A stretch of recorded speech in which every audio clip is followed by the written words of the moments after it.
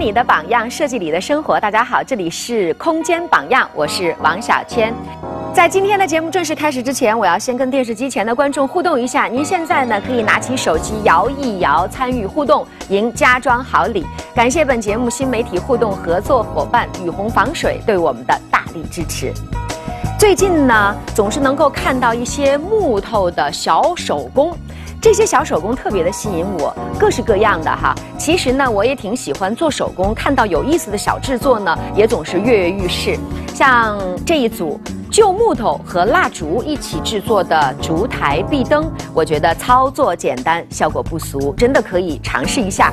还有呢，一组运用在建筑上的木头造型，非常的惊艳。设计师天马行空的设计，打破了人们对木头安静朴实的印象。木质的曲面的墙壁产生强烈的视觉冲击力，更加能够捕捉人的眼球和吸引力。巨大的木块拼接成的蜂巢的形状，让人感叹建筑的挑战是无法想象的。而下面的这张图呢，是上万根木条经过严密的排列，应用到了建筑上，产生了别样的美。看来最普通的木头疯狂起来，也是可以有惊人的效果的。好了，言归正传，马上开始进入本期的榜样作品。首先，请本期的点评人陈飞杰先生出场。陈飞杰，香港设计师，致力于以精巧简约的设计风格创造灵动的生活空间。在建筑及室内设计领域有着二十多年专业经验的陈飞杰，一直坚持用匠人的精神做设计。他觉得只有专注才有精品，在他看来，设计不仅是代表个人灵魂的作品，它更应该是影响一代人的设计。设计每一个家，是为了家庭的每一位成员更加的和谐，更加的愉悦。大家好，我是设计师陈飞杰。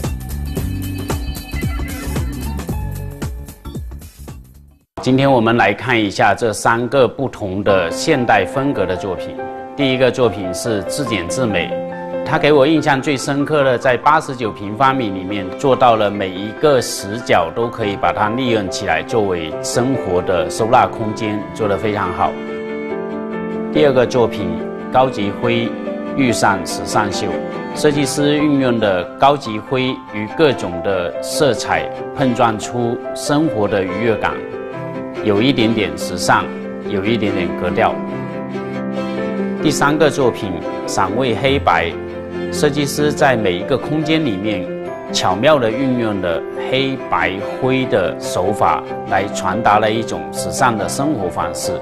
其中有一幅装饰画令我印象深刻。欢迎回到空间榜样。在进入我们榜一作品前呢，我想先问一问大家：如果一套不到九十平方米的房子里，大大小小的柜子放了十六个，这样的设计你是否能够接受？有这么多柜子，空间还有美感可言吗？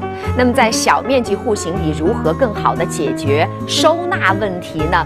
来自杭州的设计师范小虎给了我们一个方案，他的作品至简至美，实现了储物的秀与藏。如果您也有收纳方面的烦恼，不妨跟我们的设计师学上几招。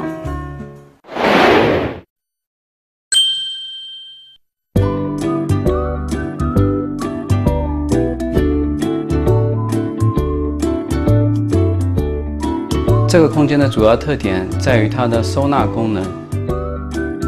我们通过不同的处理手法，实现了收纳的秀与藏。展现了空间的自简自美。大家好，我是设计师小虎。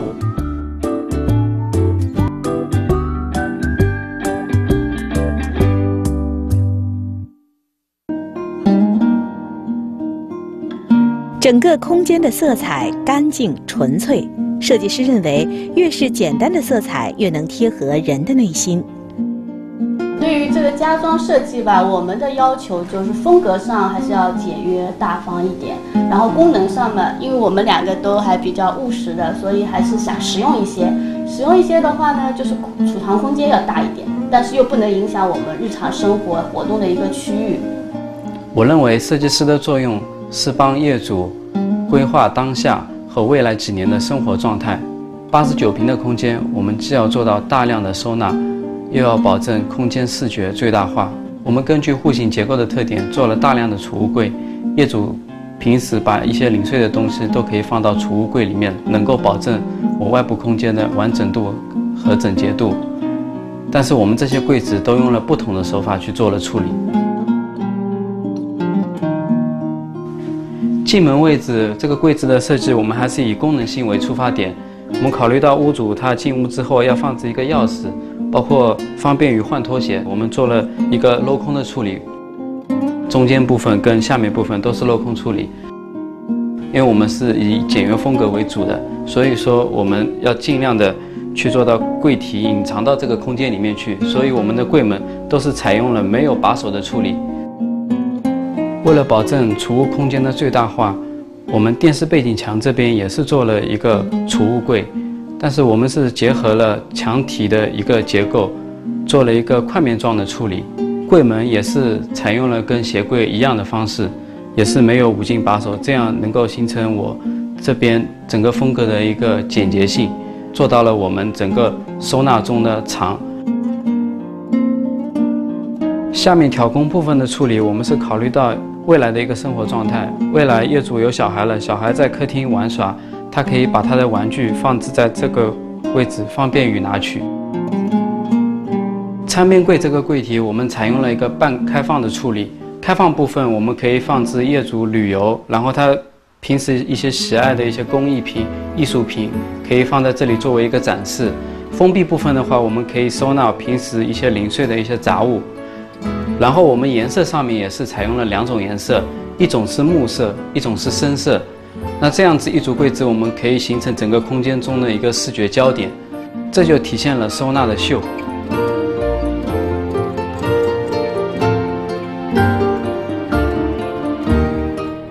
对于我们家的装修，我们最满意的一点就是我们有非常多的储物空间，大大小小的话大概有十六个，呃，而且这些空间大部分是用了一些边边角角的地方，所以丝毫不影响我们日常的一些生活啊活动。比方说这个柜子吧，它是跟墙体融为一体的，如果不是我说的话，日日常来家里做客的朋友是丝毫不会发现的。对于男业主来说，最满意的是设计师对于户型的改造。其实刚拿到这套房子的时候，还是存在一个比较大的问题的，就是我们这个房子进户门门厅跟客厅之间原来是存在一堵墙的，这样子整整体上的话，就使得这个房子呃比较的不通透，会让人产生一种比较压抑的感觉。那墙体我们把它拆掉之后，我们是借用了这个墙体的厚度以及包管的厚度做了一个。吧台的一个功能区，它很好的区分了客厅和餐厅之间的一个功能，另外增加了每个功能区之间的一个互动性。然后餐厅这边的话是利用了入户花园的一个空间做的一个功能区。下面我们做了一个卡座的设计，一方面能够节省餐厅空间，另外一方面卡座下面的抽屉是对收纳的一个补充。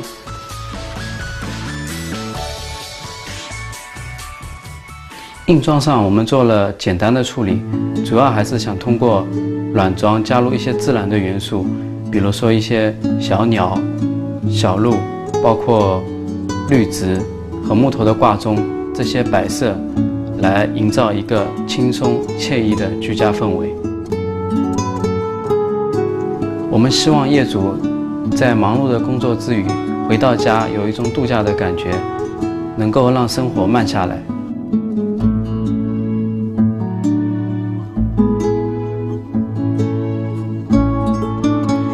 房则是朋友们最津津乐道的一个空间。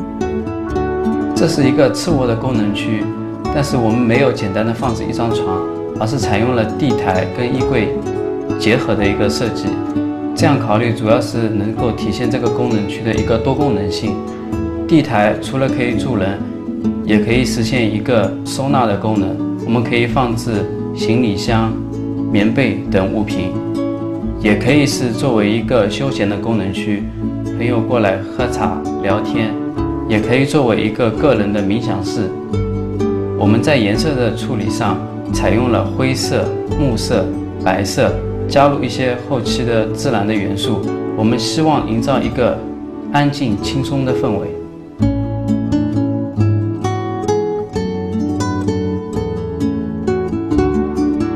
这个空间就像为我们量身定制一样，是我们梦想中的家。感觉非常的敞亮、齐整，然后干净又大方。呃，我们回来以后置身其中，就能很快的放松下来，然后静下心来去做我们自己喜欢的一些事情。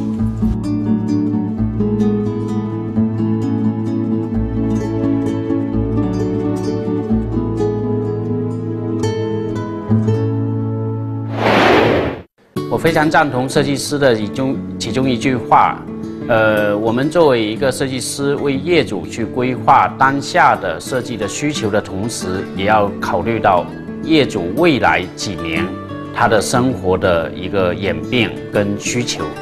所以在这一套房子里面呢，我们看到每一个死角的部分被规划成各个不同大小的收纳柜，然后同时令到每一个。功能空间变成相对完整的这样的功能空间，特别是看到电视机的背景墙的部分，它把电视机跟后面的背后的收纳柜融为一体，把空间做得非常的干净。设计师对整个收纳空间的规划做得非常好。欢迎回到空间榜样。今年高级灰火爆了整个的设计界，成了不得不说的故事。究竟什么是高级灰？其实并没有什么明确的定义。有人说高级灰呢，就是一种灰调子，是一个颜色体系；也有人说高级灰呢是一种生活态度。那么高级灰究竟高级在哪里？总结出两点：一个呢是纯度低，让整个的空间和谐。另一个呢是灰的有韵味，不是一片死灰。我们的榜二作品也是一个用高级灰打造的空间。不过有意思的是，设计师杨军没有走高级灰一贯的路线，而是在空间中点缀了丰富亮丽的色彩。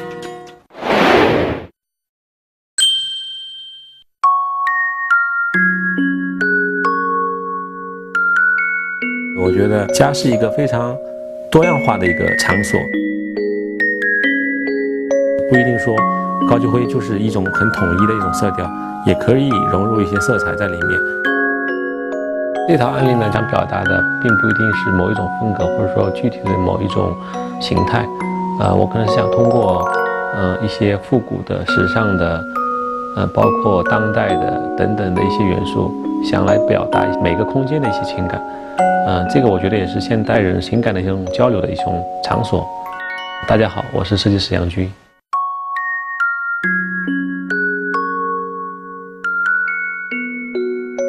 从我跟业主就是几次的沟通之后，后来我们就达成了一致的意见，想给大家做的一个比较偏国际范的、偏时尚的，而且也非常温馨的这么一个家。可能用到的元素会比较丰富一点。呃，我不想就是说把一个家做得很很单一，这个也是我当时跟业主的一个想法。在这个空间里，杨军在软装的搭配上是极其丰富多彩，利用各种颜色材质将空间装扮的时尚亮丽。但是在硬装的设计上，他却采用了极简主义。几乎所有的墙面、顶面都只是简简单单的直线条，所以软装的搭配成了整个空间里的主角。当然，我想，嗯，最重要的一点是想给他每个空间营造一种就是氛围的一些场景。在客厅的装饰上，杨军主要是以浅灰色和白色为主基调。然后配以条纹的地毯，以及沙发背景墙上的条纹挂毯，营造出一种韵律的空间氛围。在家具的搭配上，既有铜制的金属质感，又有原木的自然材质。在这个空间，就是选用了一些木色的一些元素，想就是尽量的使这种金色的浮夸感稍微，呃，降低一点。这样的话，使这个空间感觉会更温馨显得。除了家具之外，室内的挂画也是精心挑选的。在这个客厅空间挂画的一些选择呢，我们是采用了一些，呃，色彩感会比较强烈的一些对比色，比较跳跃的一些颜色来作为一个装点搭配，主要是想在这个灰度的这么一个空间里，想提亮一下空间的感觉。另外就是从画的内容上面可以看到一些比较有意思的一些，就是类似于儿童画的这种感觉，嗯，不想让这个空间就是太呆板。在餐厅的吊顶上，一盏既复古又时尚的吊灯成了空间的主角。餐厅就是这个大的帽檐灯，就是会格外的引人注目。当时我的考虑也是想，在这个比较简单的这个空间，呃，需要有一个物体来，在这个空间营造一个非常浪漫的这么这个氛围。另外一点就是我们的餐厅的这个背景的装饰画也是格外的引人注目。然后再配上我们餐桌上的一些，呃，淘来的一些餐具，包括一些，呃，刀叉、一些银器这些，作为一个装饰，显得，呃，特别有那种复古情怀。而让杨军最为满意的，则是厨房空间的设计。厨房的设计也是非常有意思，非常的生活化。呃，整体的话，我们我我们给它的定位是以北欧风为主。呃，米白色系，干净利落。当然，就是在这个厨房空间最值得一提的是，我们在厨房的阳台增加了一个早早餐区。那在这个早餐区里面，呃，其实是非常实用而且非常生活化的这么一个场景。呃，另外，我们在这个早餐区的一些窗幔的一些颜色的选择，我们是选了一个灰绿色跟卡座的呃树叶条纹的这个选择，也是为了跟室外的这个自然风景相融合。在次卧室的装修上，杨军同样采用了极简主义，硬装上几乎没有做任何装饰。整个空间非常简洁，我们也是在家具和陈设上面花了点小心思，嗯，包括台灯的一些选择和嗯单椅的一个选择。那我们是主要是增加这个空间的一个质感，另外就是想把这个空间做的就是嗯给人感觉会会很安静，然后作为一个客房。嗯，让人的一个睡眠的舒适度，然后呢，有做一个加强，没有使用很多的一些大量的颜色作为一个铺垫，主要还为主。在通往卧室的过道里，杨军用最简单的方法设计了一种别样的收纳空间。在这个衣帽间的一个小过道这个空间，我们把它这个空间给它充分的做了一个利用，然后做了一些帽架。这样也增加了这个空间的一些功能性，也把这个空间就是做得非常的生活化，而且非常的有趣。主卧的这个大的基调还是以米白色和灰色为主，当然我们在很多的空间的小细节上面点缀了很多红色，包括它的床幔的设计，包括它的挂画、呃小台灯、抱枕等等这一系列，就是用了很多。红色系的里面的一些主色，包括有玫红、有暗红，有一些赭石的颜色，包括跟它的卫生间也是做了一个呼应，因为卫生间我们也是在设计的非常大胆的呃一个颜色的感觉，非常统一。那我们是想通过这个空间，想营造一个就是比较浪漫气息，包括有非常生活生活气息的这么一个场景的感觉。四白落地的墙面。没有任何装饰的吊顶，但是软装的搭配却能变化出如此多的空间氛围，使得生活也变得丰富多彩。呃，家是一个非常多样化的一个场所，你可以在家里面一个长的西餐桌上，你可以很优雅的吃着西餐，点着蜡烛；你也可以坐在呃一个阳光非常好的一个早餐区，就是喝一杯咖啡，吃一个很简单的一个早饭。我觉得这些都是一种生活方式。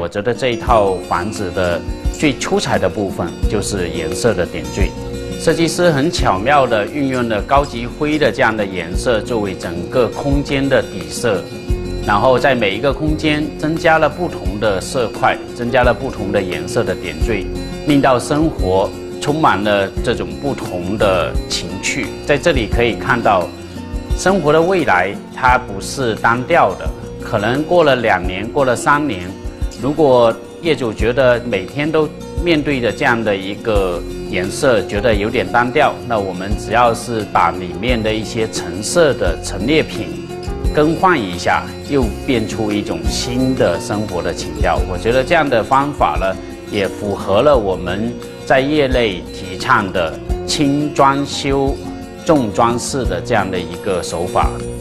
欢迎回到空间榜样。墙面开裂是很多家庭都会遇到的装修难题，而且墙面一旦有了裂缝，就算我们采取了补救措施，裂缝还会时不时的出现，特别影响房子的美观和人的心情。在我们的榜三作品里呢，设计师采用了一种特殊的装饰材料，解决了墙面开裂的烦恼。那么，这个神奇的法宝究竟是什么？来自常州的设计师罗贤荣将为我们揭晓答案。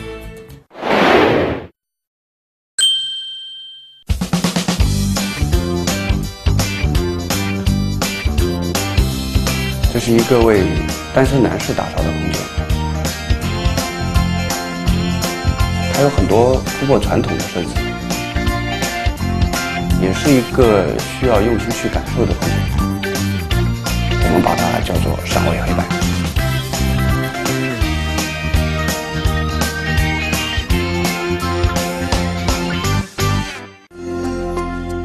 这个户型它的采光性呢是偏弱的。考虑到这个整体采光的情况下，墙面呢使用了大面积白色，包括顶面，配合一些自然光的反衬和我们室内一些灯光的搭配，这样可以使得整体的屋子就是更明亮、更通透一些。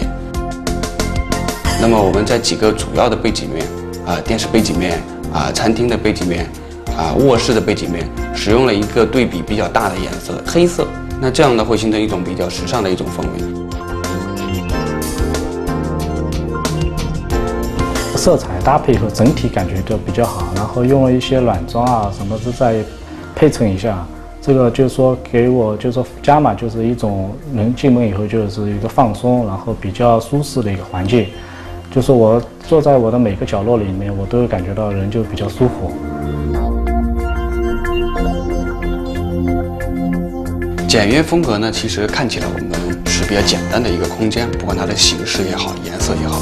但是对于简约空间的一个设计风格的话，我们更应该注重的是它的一些质地和质感。为了使这个空间不过于单调生冷，我们用了许多的木质材料啊，包括木质的地板、木质的家具，使这样的一个呃时尚的空间，呃能够多一些自然，然后居家舒适的氛围。后墙面上我们看到这些材料呢是海基布，白色的这种墙面呢是比较易脏的。我们用了海基布之后呢，用湿抹布、用橡皮，我们就可以清理表面的污渍。在住了很多年以后，可能房子啊、墙体啊会经常容易出现一些裂缝。那么我们在用了海基布之后呢，就墙面的裂缝我们是完全可以避免掉。再有就是，可能说业主在住了三年、五年过后，觉得我需要给这个家。换一个颜色，那么我们只要在海基布的表面直接涂刷我们喜欢的颜色就可以。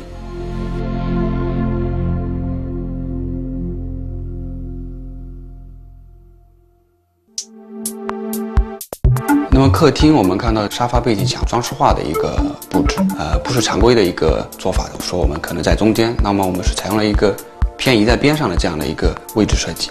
那其实不只是客厅，那么其他。地方的，包括床背景也好，书房的也好，装饰画的一个位置都是采用这样的方式。当时我比较怀疑，我说不挂在中间，挂在一边，就是说我这没见过。然后他说这样子的效果会比较活泼。等他那个画挂完以后，进门一看，确实眼前一亮，就是说这种效果，人进门以后就感觉到比较轻松，比较时尚，我觉得蛮好的这种搭配。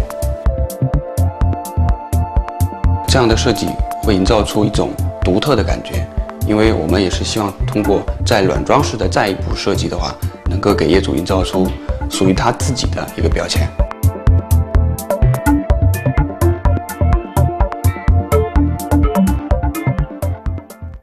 那么这个空间的最大的亮点呢，在于一个户型有一个极大的改造。它本身这个房子的话有八十九个平方，呃，偏于传统的一个户型，两室两厅。我们前期观测呢，这个客餐厅是过于狭小，特别是餐厅这一块，因为他业主他是一个喜欢，呃，亲朋好友到家里来一起聚会啊，比较好客的一个人，很热情的一个业主。其实，我们突破了他这个户型原有的界定的一个方向。就是我们把两居室的一个空间改成了一个一居室，主要的部分是，呃，客餐厅和次卧这块的空间改动。我们把这个，呃，次卧室的原有的墙体全部敲掉，然后呢，把一部分的次卧室空间作为了一个很大的衣帽间，还有一大部分的次卧室空间呢，作为了这个餐厅区域。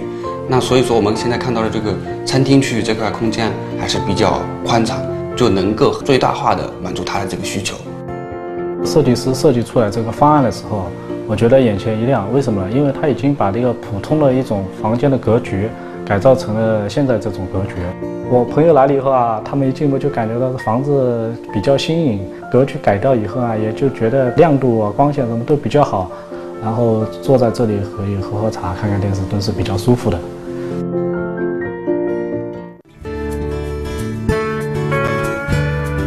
衣帽间这一块呢？设计也是一个比较重点的地方，我们把全屋的收纳的一个功能都放在这一块。衣帽间这块的整体格局的设计上面呢，我们需要做到精心的规划。我们看到柜子的最里边的死角的地方，我们是做一些层板，那么这个地方呢可以收纳一些大的呃旅行箱啊。然后在中间的部分呢，我们会有一些衣通。那么在最下方的一些位置呢，我们有一些呃裤架呀，呃抽屉呀。这样的一个功能组合的设计呢，可以让衣帽间的储物呢看起来就是更整体。呃，我们还是尽量以人为主，居住者、使用者当下的一些需求来把这个格局改造的能够为我们居住者来服务。房子虽小五脏俱全，不管房子多大多小，它应该具有的它的功能，在我的房子里全部体现出来了。就说在我这个。居住的这个一个过程当中，我觉得我比较舒适，比较放松，这就是我想要的这种感觉。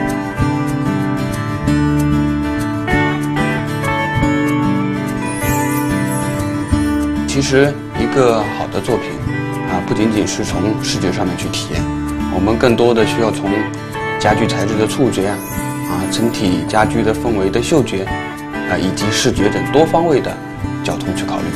那么，所以说，设计出真正有灵魂的设计作品，需要我们每个设计师更懂生活，用心做。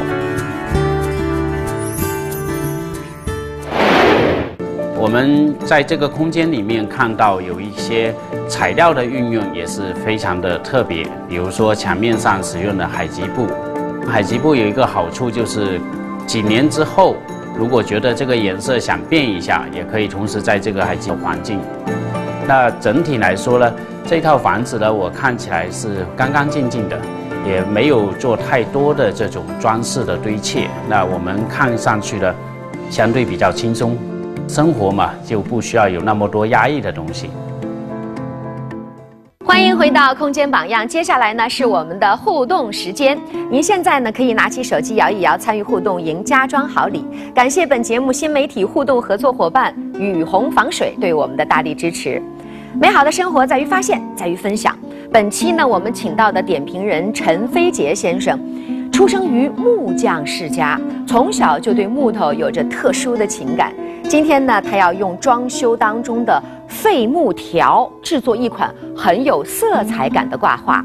更重要的是，这个创意不仅美观，而且非常的简单易学。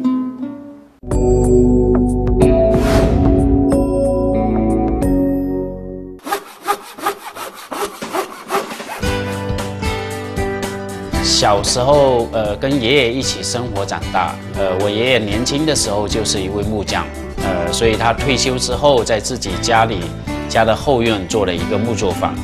那我是每天都看着爷爷做不同的家具，不同的，呃，用自己喜欢的木料来做自己喜欢把玩的一些木器。呃，我非常喜欢木头。一棵树苗慢慢长大成材之后。当我们砍伐这一棵呃大树下来之后呢，其实我们第二次使用这个木材的时候，是这棵树的第二次生命的重现。它的可塑性非常强，也是非常的温和，也非常适合跟我们人近距离的接触。也因为我对木板木料有很深厚的感情，所以我也希望能够教会大家如何使用这些木的材料。装修的过程中，我们都会有大量的这些。装修的废料，那我自己本身呢是特别喜欢木头，那我觉得这些木条、木方呢都是可以重复利用的，我们也可以把它变成我们每一个项目里面的一个装饰画，这样子呢也可以为空间增加一些我们艺术的创作，同时也会呃更加环保的使用这些木工的材料。我们需要制作一个装饰画的这块板，我们就按照这块板的尺寸，然后来裁木条的一些长短。我们裁好之后，接着我们就会开始刷上这个颜色。我们这里呢，总共选择了几种颜色，有绿色、蓝色、黄色、红色、紫色。我们总共选择了五种颜色。色彩的美学呢，是通过我们平时的生活的观察，呃，最好我们在每一次出去旅游的过程当中，我们最好能够更多的去欣赏不同的地域文化、不同的色彩的大自然的环境。现在我们已经把这些颜色基本上已经刷好了，刷好之后呢，来制作出这样的一个。整体立体感非常强烈，对比的一个色彩的构成。当然，这个构成呢，可以通过你自己的想象，呃，颜色方面呢，可以有不同的变化。那就要看我们每个人对色彩的一些理解。好，我们排好这个板之后呢，我们就用玻璃胶来固定每一个色块的木条。用玻璃胶的过程呢，最好我们用的玻璃胶是无酸的玻璃胶，这样子的这个气味不会影响你的环境。固定好之后呢，放在那里一天，第二天呢它就自然干透了，就可以把它立起来，把它可以固定在我们所需要的墙面上面，来作为我们一个空间的点缀。那这个看起来呢会非常的立体，那这样也是我们响应环保的一种的做法。所以回到我们家里的，我们动手自己 DIY 的过程当中呢，也可以动用我们自己的想象力来制作我们不同的这样的一个装饰画。每一块做出来的都是独一无二的，也都是我们自己动手的成果。谢谢陈飞杰先生的分享，让我们体会到什么是创意，让生活更美好。当然，也希望我们大家都能行动起来，把平凡的生活过得有滋有味儿。在节目的最后，我们向设计圈的朋友们发出邀请：如果您觉得自己的作品够好、够榜样的标准，那么请报名参加我们的空间榜样，和大家一起分享空间设计。报名邮箱打在了屏幕的下方，欢迎您的热情参与。好，今天的节目到这儿就要结束了，记得我们的约定，每周六晚的十八点五十分，中央电视台财经频道《空间榜样》不见不散。空间里的榜样，设计里的生活。下期节目再见。